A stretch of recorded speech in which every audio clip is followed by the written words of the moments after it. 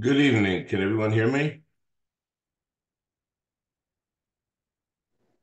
Yes. Fantastic. And do we see the one-way ANOVA on title slide? Yes. Fantastic. Okay, well, we can go ahead and get started. Uh, good evening, good afternoon, or good morning, depending on where you're calling in from.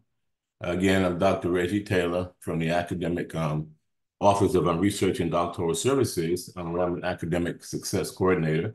And this evening, um, I will be facilitating the session on the one-way ANOVA.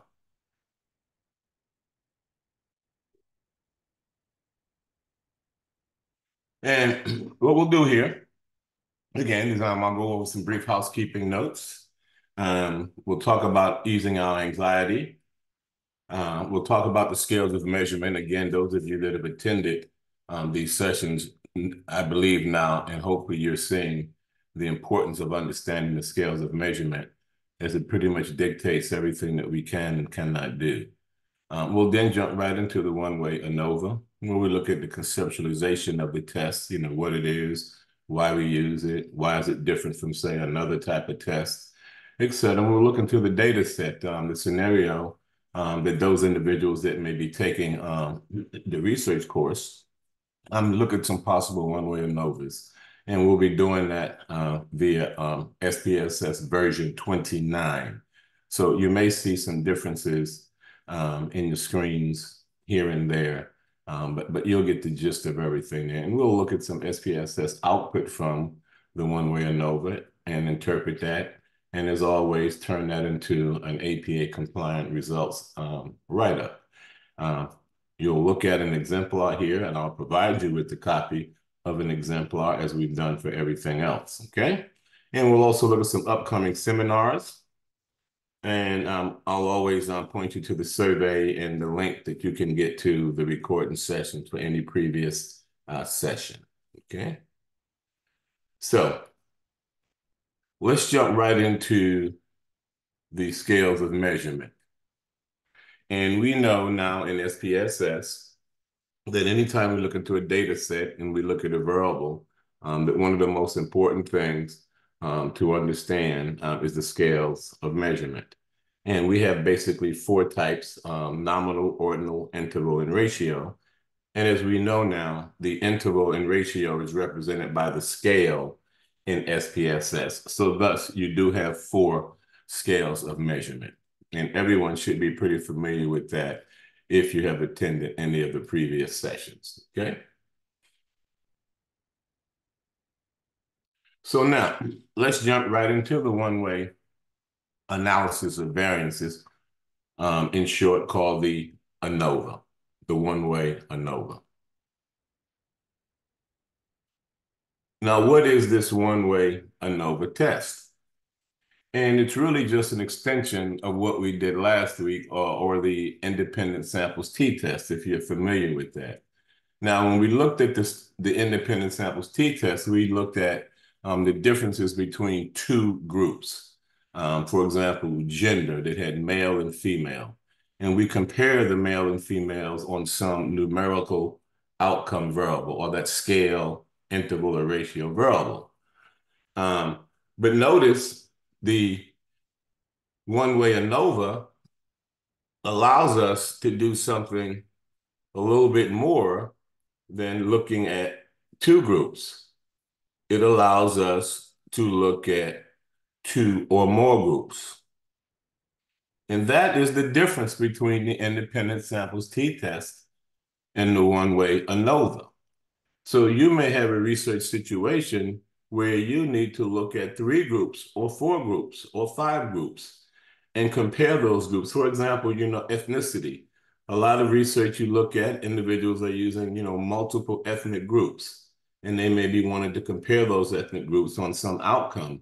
Well, if it's more than two ethnic groups, then that individual can't use the independent samples t-test.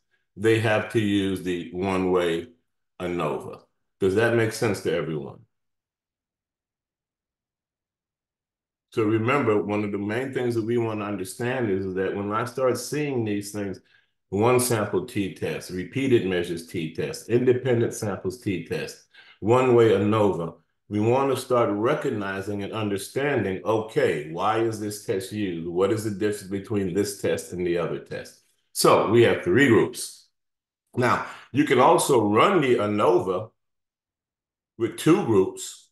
You'll get the same output, but again, you have more than two groups, you'd use the one-way analysis of variance, okay?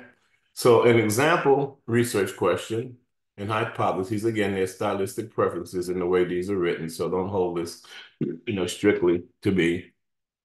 But again, remember, we're looking for that significant gender difference, the gender average. Remember, the mean is the average, the GPA difference amongst the Walden students, but we're going to look at that by gender. Does one gender have statistically higher GPA scores than the other group? But now you may be saying, excuse me, well, Dr. Taylor, um, you said it's for two groups or more than two groups. And what we're going to look at here in this example, we'll see that when we look at gender, we're going to look at gender with three groups, okay? And what those three groups will be, will be male group, female group, and a non-binary group. So remember in SPSS, we're going to code, say for example, a male is a zero, a female is a one, and then as a two, we would say non-binary for an individual that does not respond, you know, will not respond to the male or the female. So in essence, we have three groups, okay? And we want to see these three groups differ. And that's what the impetus behind the one-way ANOVA is. Again, almost exactly the same thing as the independent samples t-test, but now we have extended our independent variable to three levels versus two or more than two. It could be four, five, etc. Ready?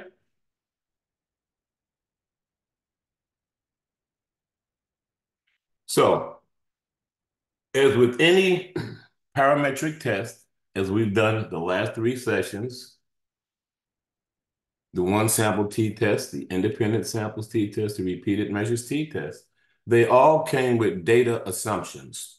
You know, those characteristics of the data that uh, should be met for us to have confidence in the results. And you remember when we did descriptive statistics back several weeks ago, we looked at the normal distribution and we looked at how to um, plot outliers and things of that nature. And so these are the things that we call data assumptions. Now let's look at what these specific assumptions are for the um, one-way ANOVA. Those assumptions are as you see here. Now, what you'll see here is that in blue, I have written if this assumption is pretty much just a design assumption. Basically, you won't do anything in SPSS to test this assumption. But you want to make sure that when you go into a data set that you select that continuous dependent variable. You don't test this in SPSS. You select the continuous dependent variable. Also, we know that we need to have that nominal or that categorical independent variable, and it must have two or more independent groups. Now, here's a screen capture inside SPSS. Remember the value labels. And here you can see we have three groups. And so in SPSS, the way that this researcher coded the data was that they gave the males a code of one, the females a code of two, and the non-binary a code of three. And remember, you don't do any mathematical calculations with the nominal data. You're not saying a male is a half of a female or a female is twice the male or the male is one third. You, you don't do mathematics. You don't have an average. You're just using these values here to categorize your data. So in other words, every time you would see the three in a data set, you know that that would be a non-binary response. But now we know that then once we get an SPSS, that there are those assumptions, excuse me, that we have to test. And those assumptions are as follows. The first one is that the normal distribution, and we have looked at that before. We also want to make sure there's no outliers in the data. Okay, we've looked at that before. And also here, we want to make sure that we have equal variances. And we did this also with the independent samples t-test. So pretty much the same assumptions that we want to test and assess in SPSS. Okay? So how would we do that? We would do that the exact same way we did that when we did the descriptive statistics session, when we did the one sample, the independent samples, the paired samples t-test. We look at assess the outliers on, on normality all in the same procedure. And again, you know, you'll just follow the numbered arrows, and we'll look at this in SPSS. But as you can see, as you can see here, it's just analyze descriptors, and it's the explore command. And the explore option will pop up, as you can see here. And remember now, the dependent variable, we're comparing the GPA score. And this is where you would put that scale dependent variable. Now, in the ANOVA, when we talk about independent variables, and this is an important concept, when we talk about independent variables in ANOVA, we are talking about, you'll hear it called a factor, okay? So that will mean the same thing. If it's a factor, it's an independent variable. And we know that gender has three categories, male, female, and non-binary, okay? Now, we'll hit OK. We'll go into the statistics area. And again, just select descriptives. Make sure we always remember we want to report our confidence intervals to 95%. And then you can just make sure that all of these things are um, selected here, okay? But this is the procedure, the explore procedure, again, that gives us all of the capability of assessing the outliers and the normality, okay? As you can see right here, make sure this is checked, but you can see the normality plots with the test. This would be the normality test right here. So make sure 11 is checked. So the normality plots with tests, and that will give us what we need. When we hit continue, you all are familiar now if you've attended the sessions before, you've seen the box plot that looks at outliers. Now, anyone who's attended any of the other sessions, would you care to let us know if we have any outliers in this data set? And if so, in what group does that outlier belong? We do, and it's in the male group. Exactly. And it would be case number what? Exactly. Fantastic. Record number 46. So we could go into that data set and just go down the list until we get the record number 46 and we can make a decision to just delete that record. Okay? But we're not going to get into all that, you know, depth now, but you understand that we have to look at outliers and that box plot will get us that. And we know that we have no outliers in the female gender and no outliers in the non-binary gender. Okay? So someone, some male in the GB in the GPA cap in the GPA had a very, very high over a 4.0. I had a 4.8, 4.9. I've heard of that. I don't know how you get it, but you know, there was an overachiever there. So you can see again how the graphics help us understand the data. We couldn't find that information if we look at the 800 individual records in the data view, remember? But this lets us quickly get an understanding of what's going on. So we have an outlier in this data set. Now, What's also produced with that same report, remember? The Shapiro-Wilk test of normality. And here we go. Now, can anyone um, tell me what's going on here? Have the test of normality or the assumption of normality, has it been violated? significant results. What does that mean? Remember, this information answers our question as to if the assumption has been violated. From this that we're looking at, would the answer be yes or no? Has the assumption been violated or not? Yes, because they're less than, excuse me, they're less than 0.05. But what you want to make sure you understand is that this is per group. So you have a male category, you have a female category. So all three of these appear to have violated the assumption of normality. Okay? So from this data set, now we know, first of all, that when we're doing our data diagnostics, we know that we have an outlier in the male category, and we know that we have violated the assumption of normality in all categories. Okay? Now, there's one more test that we have to test, and that's the um, equivariances, but that is run in the ANOVA procedure when we actually get to run the test. Now, let's look at how we run the one-way ANOVA. Again, we know that we always go to the analyze.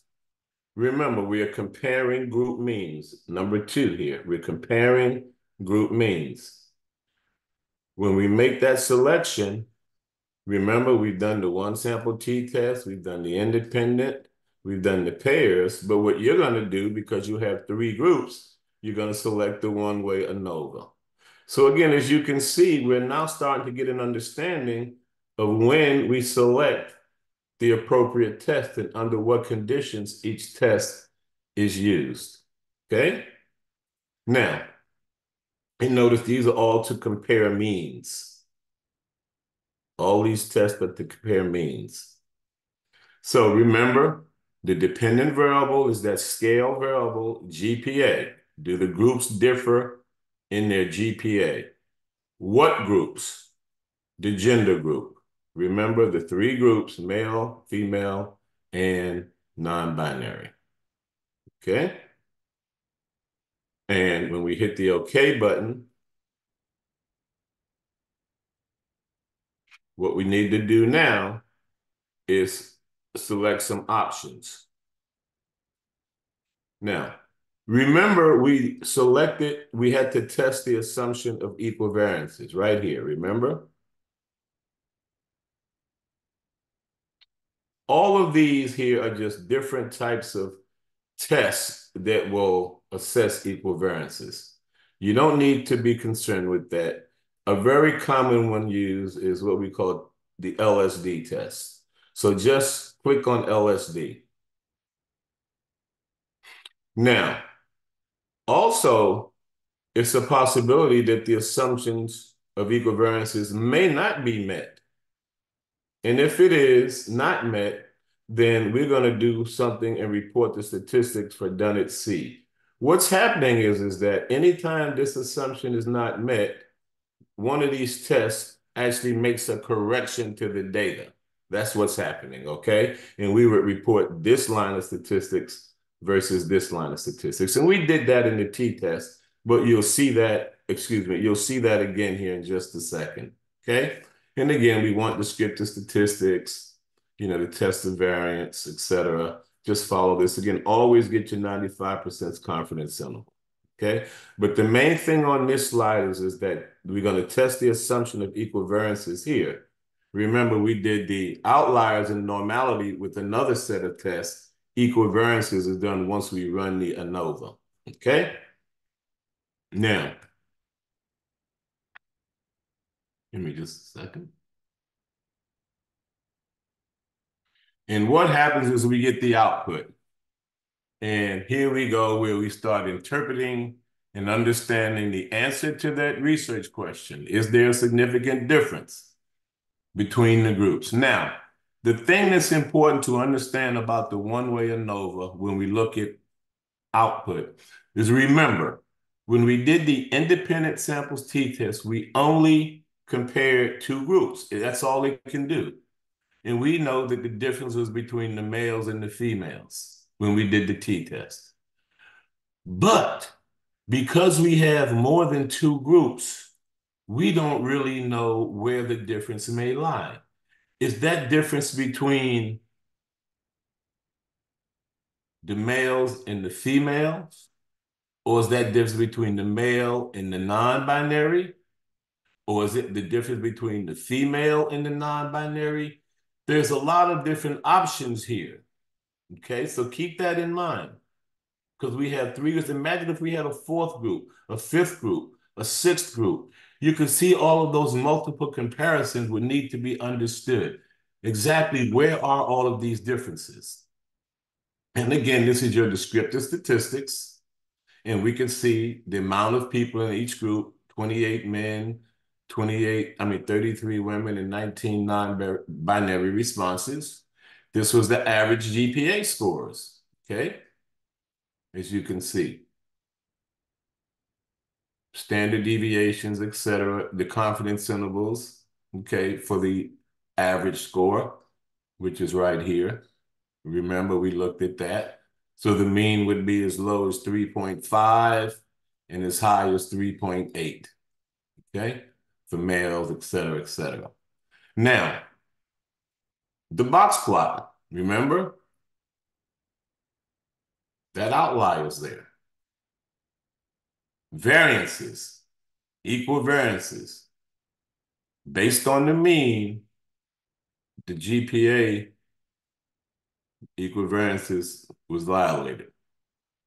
Okay, you can see, well, excuse me, was not violated. It's not less than 0.05. This is the actual results of the test right here. Let's erase this and look at that.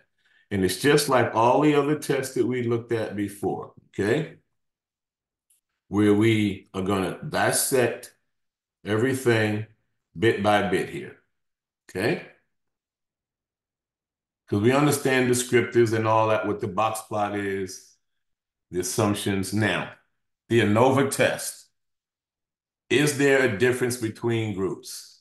And you can clearly see that it states right in here what the table states is between groups. The ANOVA table. Is there a significant difference between these groups? Anyone would like to answer that in the chat? Is there a significant difference? No, it is not. Exactly. There's no difference between these groups. We know that the means differ somewhat. We know that. Okay. But is these statistically significant differences? No, they are not. Simple as that. We always report the effect size. How large was that mean difference?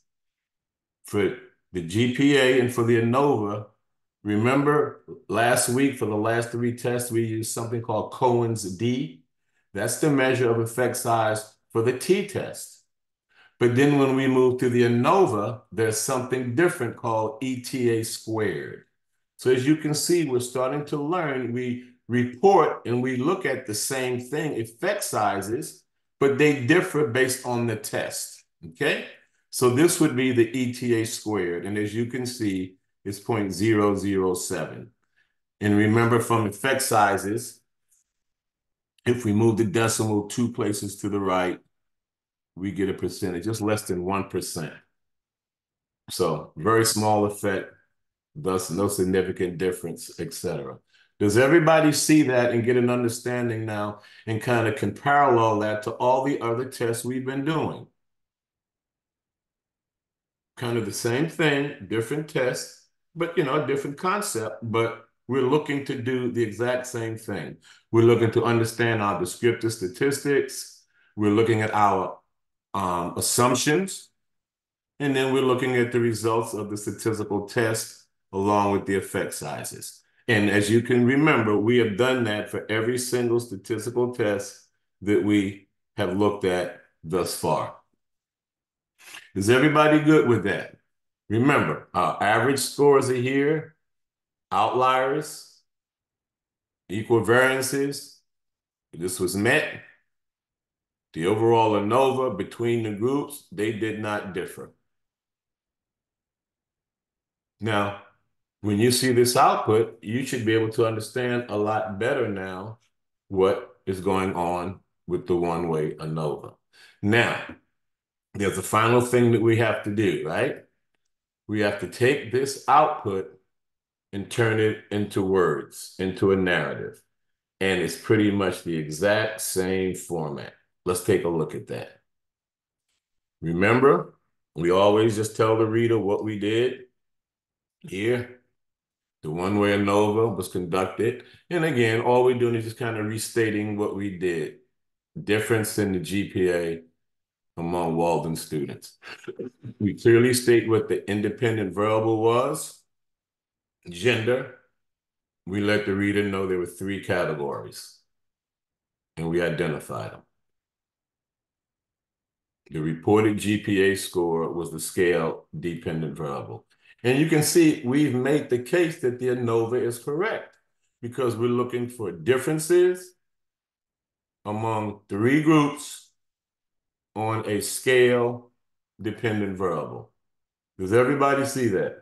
That that's really what those first two or three sentences is really telling us. Okay?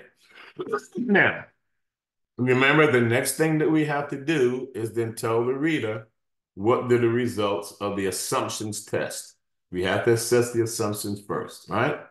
And we call those preliminary analysis. Or you can say the assumptions, whatever you want to say. But the whole point is that you understand the scope of what you're trying to do. So let's look at that now. Preliminary analysis were conducted. And again, we just state the assumptions. And remember three of them, outliers, normality, and equality of variances. And we simply state the results of what we did. One outlier was identified in the male group, remember? And we're going to say here in figure one. And in figure one, what would that figure one be in the write-up? What would that figure one be? The box plot, exactly. But then what I'm saying here, and again, this is for our seminar purposes, I simply told the reader which was retained in the analysis. So I just kept it in the analysis. I could have said which was removed from the analysis. Either way. Now, the next assumption was normality.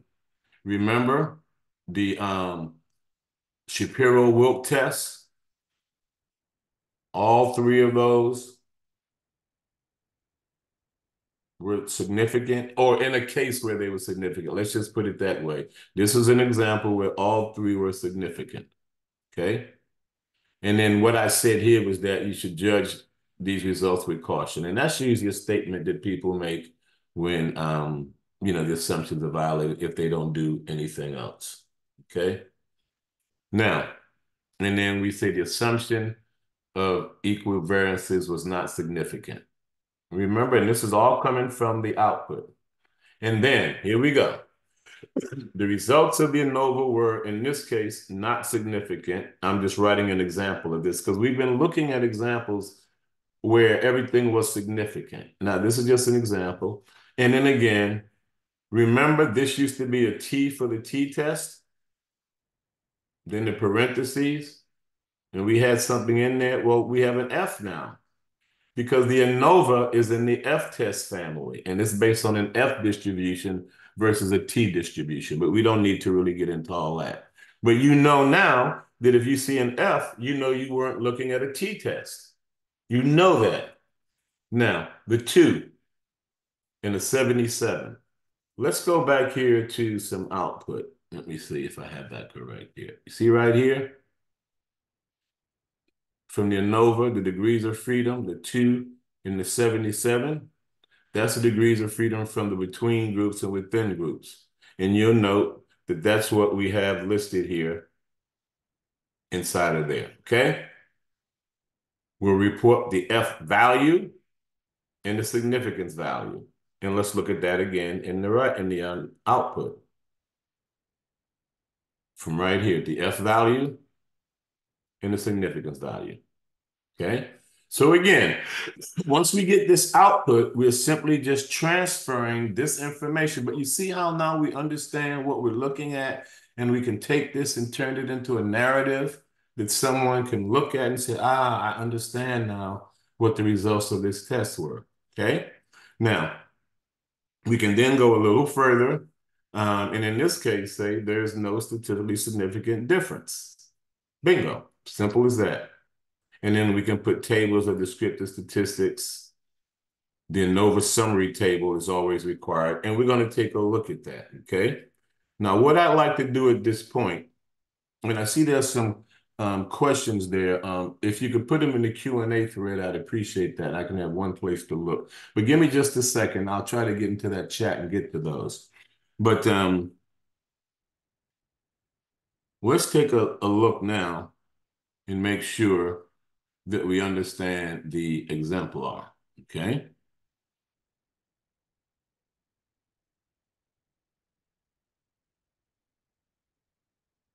You're going to get this, okay? And remind me to make sure we get this into the chat. Again, as you can see, wow, that's pretty big there. We just state kind of what we did here, the one-way ANOVA. And you've seen these exemplars before. Am I correct? Have these exemplars been helpful in the applications for those that have been taking the course? Okay, fantastic. So again, this is the same format. Okay, so I don't need to go through all of this again. Okay? But again, here's the question. You know, is there a difference in gender? But this time, the exemplar is saying, is there a difference in dissertation anxiety? Okay? Not GPA, dissertation anxiety. Remember, there's no difference. There is a difference. So the hypotheses. Okay? Now, we just really restating what we did here, just as we've done before. Now here, for the application assignment, we're showing a little bit about, uh, we know what the ANOVA is, and we're going to cite something, what the requirements for the ANOVA, again, remember, nominal independent verb with two or more, blah, blah, blah. And then stating, therefore, the ANOVA is appropriate because we have three groups, three categories, and one ratio dependent variable. Then we go right into the results. And we just state what we did, restating what the variables were. And as you can see here, the preliminary, preliminary analysis, again, outliers, normality, inequality of variances. In this case, we're saying the outlier assumption was violated. Figure one over here. And we can see in this case, I'll see if I can make that a little bigger for you. And you can maybe tell me what's happening in this box plot right here. Okay, let's put something in the chat here. What's going on? You see this in front of you. What would you kind of say? Were there outliers in this data set? Yes, there were. In what groups? What group did not have an outlier? Fantastic. You see that? And that's what you're going to be looking at and understanding now when you see box plots.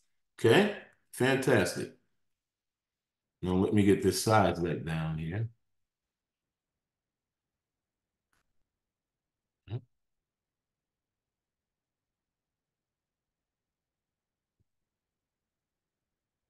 Okay, a little bigger. Now, so now the results were significant in this case. Remember the slides, they were not significant. But remember the 2 and the 77. Down here, remember the 2 and the 77, the between groups and the within groups. Okay?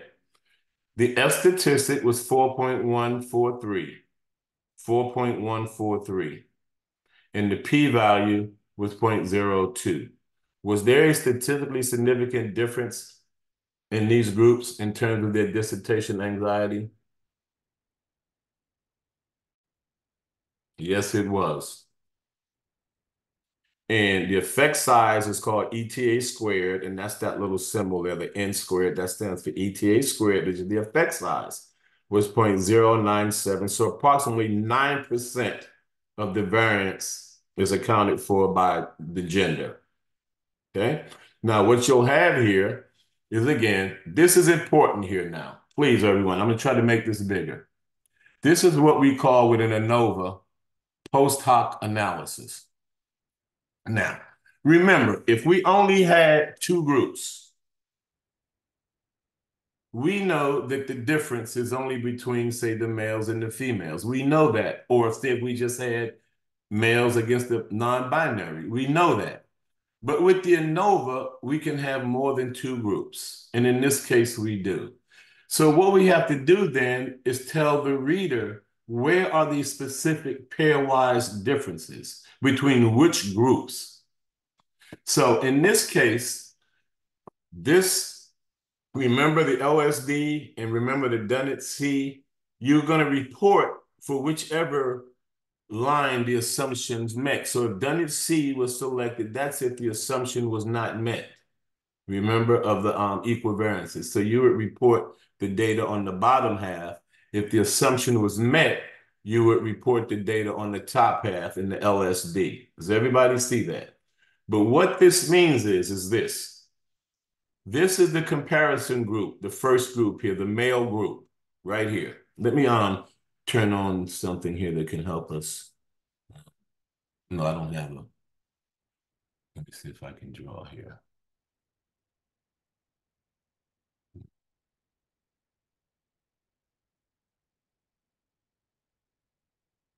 Yeah, we'll leave it alone. But the male group here is the comparison group, okay? And we look over here, just comparing the male to the females. You see the asterisk here? The mean difference is significant down here at the 05 level. So what that means is that the difference, there's a difference between the male and the female group. Does everybody see that? That first line there, does everybody see that and understand that? Now, remember, not only are we comparing the males to the females, but we're comparing the males to the non-binary, right? Is there a significant difference between the males and the non-binary from this? Would you tell? No, it is not, because we don't see the asterisk here that tells us that there's a difference. Now, let's use the female here as the comparison group. Of course, the male is going to be significantly different because we're just reversing the groups here. But and you can see the mean difference is the same. It's just it's negative here. Now we also have now the non-binary. So each group is looked at separately as the comparison group against the other remaining groups. So the non-binary is not significant to the male. The non-binary is not significant to the female. I mean, excuse me, the um, non-binary is not significant difference from the female. Does everybody see that in the post hoc table. Now, the reason I wanted you to see that is we go over here to the right, it'll tell us what the SIG is, okay? So we can see, the male, female was significant, less, of course, less than 0.05. Again, greater than 0.05. So I want you to understand that because this is the piece that you have to decipher. If it's more than two groups, Suppose this was six groups. You can imagine how this table would look. But when you look at it, you're able to understand it and say, okay, now I can see. You wouldn't write all of this up in a narrative. It's hard to discern if this is in a paragraph written format, all these numbers, this group and that group. That's why you use tables. So you would have a post hoc analysis table, and this would explain to you where the pairwise differences are. That's very important to understand in the one-way ANOVA, okay? Now, let me get to a couple of questions here. Um,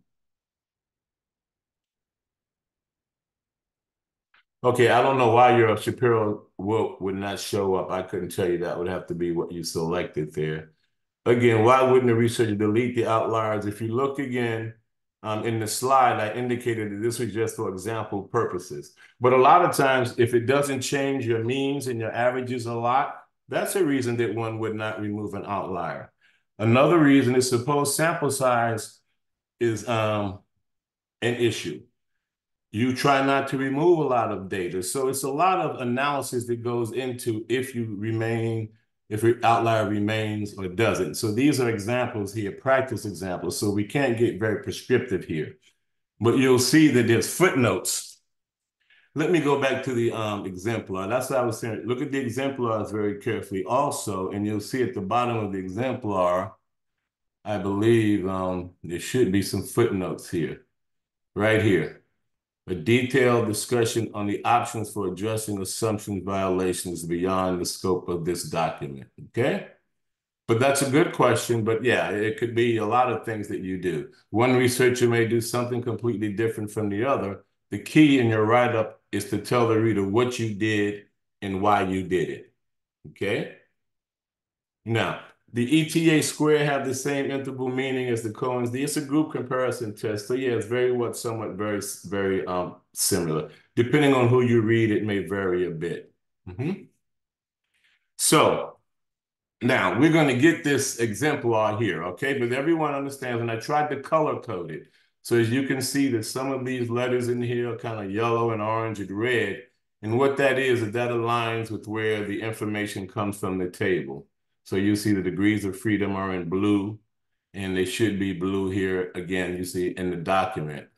And um, then to help you in your application, if you're doing this, remember, this is just for your help, but these are the things that you should have as a minimum, the box plot.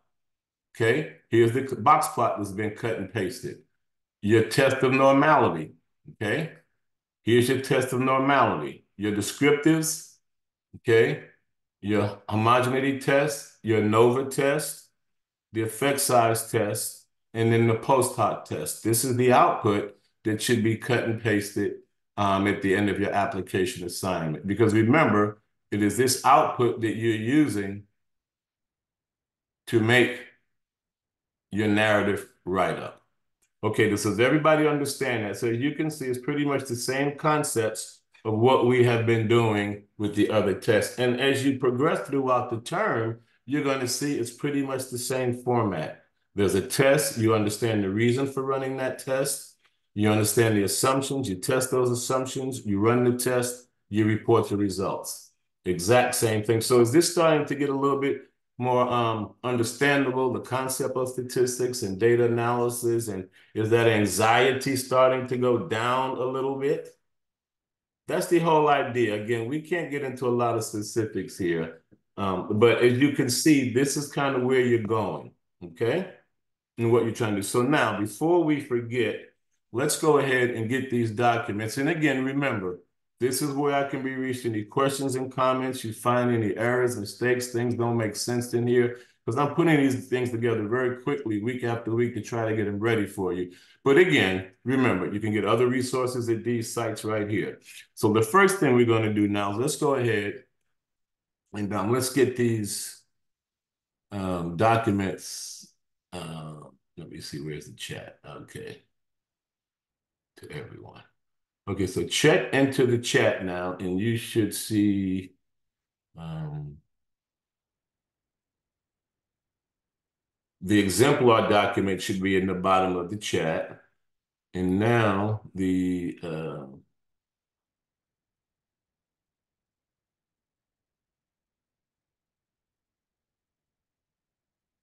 the presentation should be there. Okay?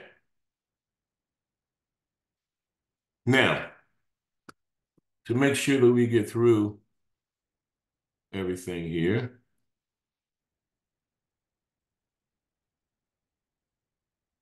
We looked at the exemplar. Now remember, your scenario for the ANOVA is to use either the Afrobarometer data set or the high school long survey data set.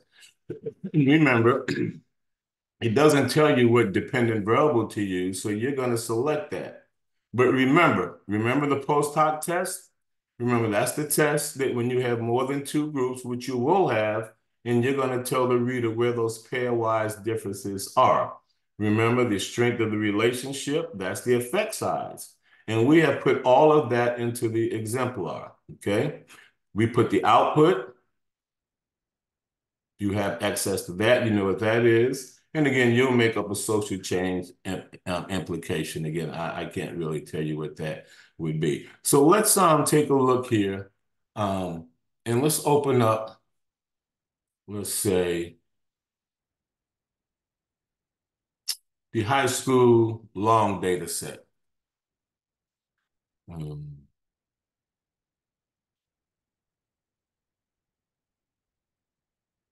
okay, that data set's open now. Okay, here we're in variable view. And these are all the variables, again, these are the variables in the data set. For example, that's the student's sex, gender. Now, you couldn't use this one because remember now, let's go and look in the values column. And you see, they have male and female. Those are the only two categories. You're not going to be worried about these negative nine, negative eight, and negative sevens because that's addressing something we call missing values. But you can see this would not be appropriate for the ANOVA. You don't have, well, you could, you have two or more groups, but you want to do something with more than two groups. So let's take a look at something like, um, and well, the easiest thing to do is to go over to the measure column. And I'm just going to move that over a little bit because you know that you have to select a categorical variable. So we know they're all a nominal one. So here's a nominal variable, okay? Right here. And this is something about school. Let me see what the label is. School control. Now, I'm not sure what that is, but let's see what, give me just a second here, control. And let's see what's going on here. You couldn't use that one again if you're trying to use more than two groups, you see? So public, Catholic, or private. So let's look at another one. Let's look at um, school locale, location of the school.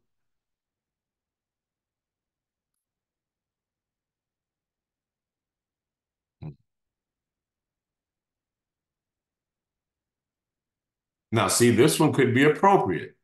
You have a, a city location, a suburban, a town, and a rural. So is there a significant difference between school location, which is a nominal variable with four categories, and I don't know, the school location, and I don't know what would be another variable, but that's what you kind of scale of students, what's this? Location and I don't know if location in mathematics would have anything to do why one student in one location may have, you know, a higher math, but that's what you're looking for. And you then make the research question up. What is the relationship between school location and whatever dependent variable that you select? Does that make sense to everybody? What you're looking for when you get into the data set. Does it make sense? So for example, let's let's do something here. Let's go analyze. Let's go compare means, and let's go um, ANOVA. Now I, I'm not going to test any assumption or anything, but we said that the school location was um, was a variable, right? With four categories. Uh, where's that variable at?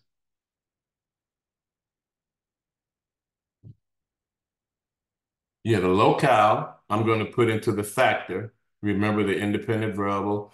And then just, just look at um, mathematics self-efficacy. So is there a difference in school location, and excuse me, in math self-efficacy based on school location? I have no idea.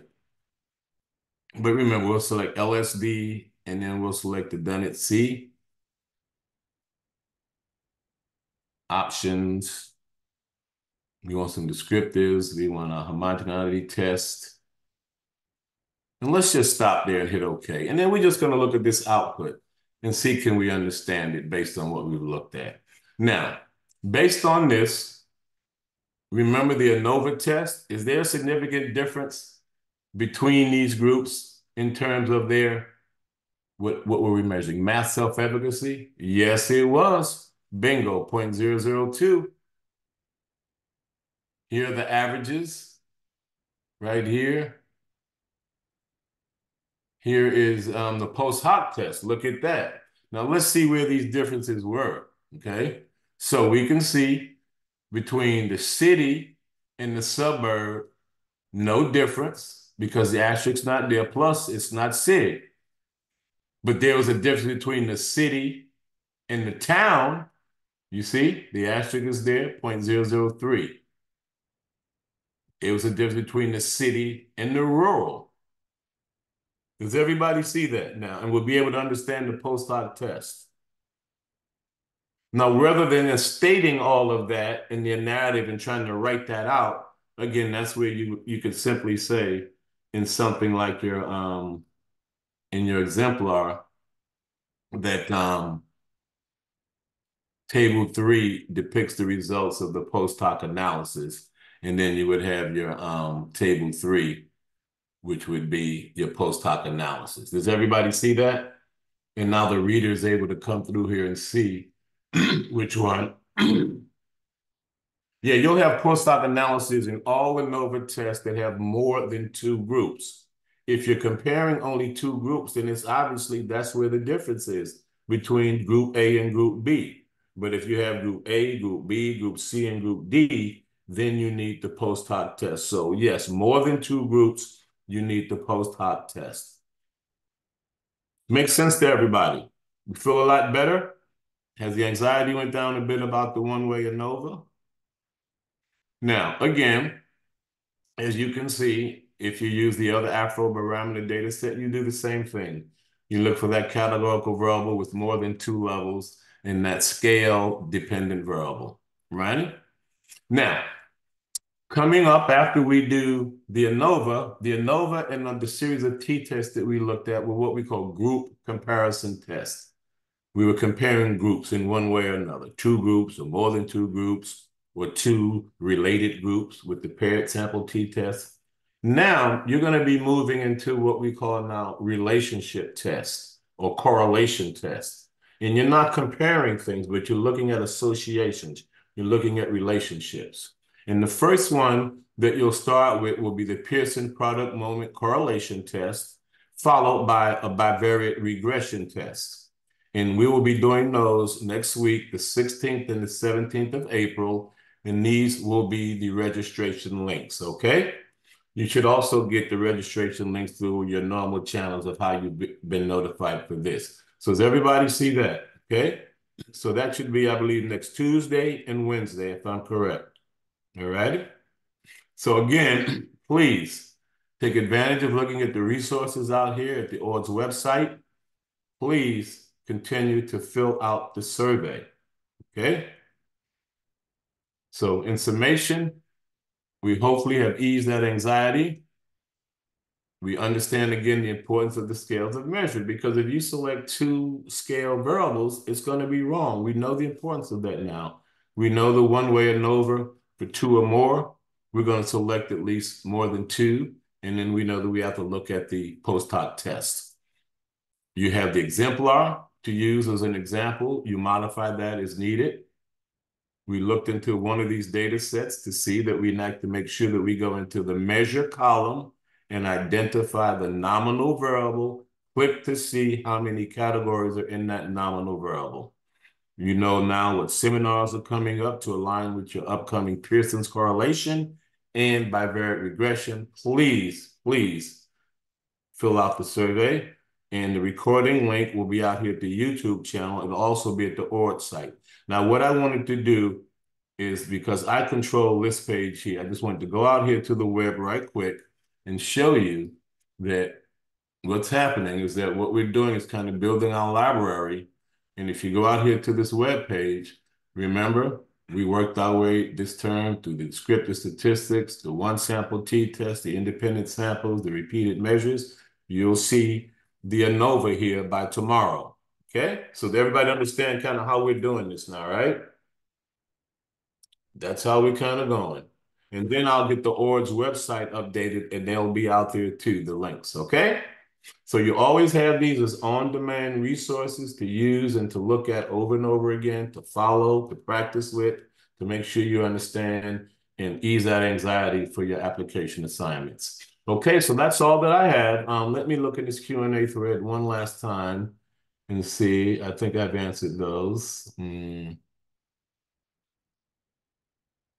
Okay, so is everybody good to go? Until we meet again.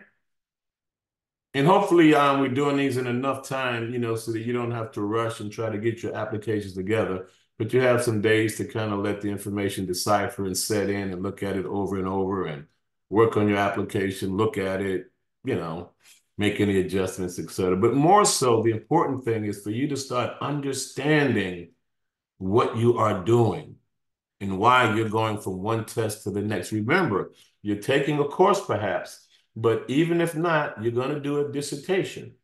And you are going to do an exhaustive literature review. And by that, that means even if you're doing a qualitative study, that study should also educate us on the quantitative research that's been done in that field, on that topic. This behooves you to understand how to read that quantitative research also so that you can critically analyze that literature. So does everybody understand the importance of this, regardless if you're doing quantitative or qualitative? Not only for your coursework here, but for later on to get through that dissertation. So this have extended purposes here. So keep this stuff in mind. Keep the links to these videos so that you can go back to them. Let's say you pull up a journal article and you it's important to your topic, but you don't quite remember the independent samples t-test, but that's what those authors did. Click on the link re-educate yourself on the t-test, then go back there and you're better able to critically analyze and synthesize that article. Does that make sense? So remember, this is for you to use throughout your journey and not necessarily one particular weekly application, my friends. Okay? So as normal, I'm going to keep the class open for a few minutes. If anyone needs to grab, um, you know, the um, exemplars out or the um, presentation, etc. Okay? So thank you again for attending. Please go to that survey. Please, please, please. And if not, I'll see you next Tuesday and next Wednesday. And even if I don't, you know how to get to the um, on-demand seminar. So thank you, my friends. Stay blessed until we meet again.